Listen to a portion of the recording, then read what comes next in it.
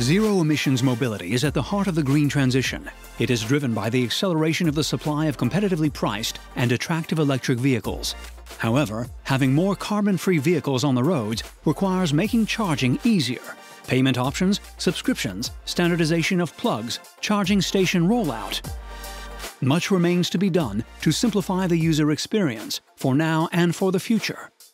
To accelerate the simplification of electric charging, the partners of the Software Republique are designing an innovative solution based on the plug and charge service, whereby a car that connects to a compatible terminal will be automatically recognized and charged without the driver having to do anything. No more cards or multiple apps. Already planned on a selection of vehicles in the near future, access to the service must be accelerated and made available on a wide array of cars from different brands including those already on European roads that can be retrofitted.